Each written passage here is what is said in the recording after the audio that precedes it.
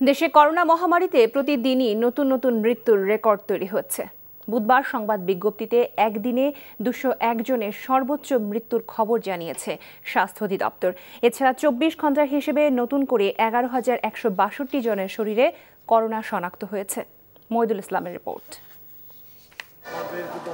Corona মহামারীতে দেশের অবস্থা যে কতটা ভয়াবহ পরিস্থিতির দিকে যাচ্ছে তা বোঝা যায় মৃত্যু, শনাক্ত কিংবা শনাক্তের হারে প্রতিদিনে নতুন নতুন রেকর্ডে। স্বাস্থ্য অধিদপ্তর চব্বিশ ঘণ্টার হিসেবে বুধবার দুশো একজন মানুষের মৃত্যুর খবর জানিয়েছে, যা দেশে একদিনে এখন পর্যন্ত সর্বোচ্চ মৃত্যুর ঘটনা।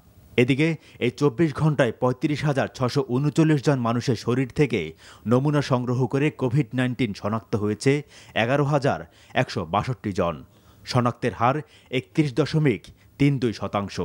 স্বাস্থ্য অধিদপ্তরের হিসেবে দেশে এখন পর্যন্ত করোনায় মোট মৃত্যু হয়েছে পনেরো হাজার পাঁচশো তিরানব্বই জনের। আর শনাক্ত হয়েছে নয় লাখ সাতাত্তর হাজার পাঁচশো আটষট্টি জন। আমরা যে মৃত্যুর সংখ্যাটি দেখি, তাতে কিন্তু বরাবরের মতনই ষাট ঊর্ধ্ব যারা আছেন, তারাই সবচেয়ে বেশি এখানে আক্রান্ত হয়েছেন। একানব্বইটি মূল্যবান প্রাণ ঝরে গেছে ষাট ঊর্ধ্ব মানুষদের মাঝ থেকে। এবং পঞ্চাশ ঊর্ধ্ব যারা একান্ন থেকে ষাট বছর আছেন, উনত্রিশ জন। অর্থাৎ এই ষাট পঞ্চাশ ঊর্ধ্ব জনগোষ্ঠী যারা আছেন, আমরা দেখতে পাচ্ছি যে করোনায় তারা সবচেয়ে বেশি আক্রান্ত হচ্ছেন এবং মৃত্যুর হারও কিন্তু তাদের মাঝে আমরা বেশি দেখছি। কাজেই তাদেরকে সুরক্ষিত রাখা, সুরক্ষিত রাখবার জন্য আমাদের সচেষ্ট হওয়া অত্যন্ত গুরুত্বপূর্ণ।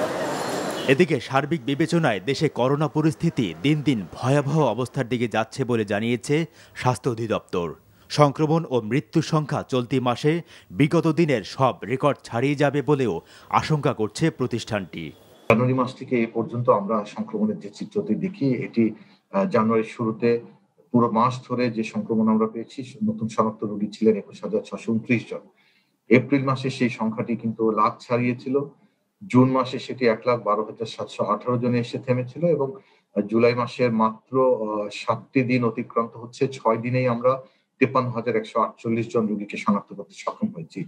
ঊর্ধ্বমুখী এই প্রবণতা যদি অব্যাহত থাকে তাহলে কিন্তু পরিসংখ্যান বিবেচনা করে নিশ্চিত বলা যায় যে জুলাই মাসে রোগীর সংখ্যা জুন অথবা এপ্রিল মাসকে ছাড়িয়ে যাবে। দেশে যেভাবে প্রাণঘাতী করোনা সংক্রমণ বাড়ছে তাতে আগামী দিনগুলোতে চাহিদা মতো অক্সিজেন সরবরাহ চ্যালেঞ্জের মুখে দাঁড়াতে পারে বলেও আশঙ্কা প্রকাশ করেছে স্বাস্থ্য অধিদপ্তর। সেটি তখন সামাল দেওয়া অত্যন্ত challenging Moidul Islam NTV news Dhaka.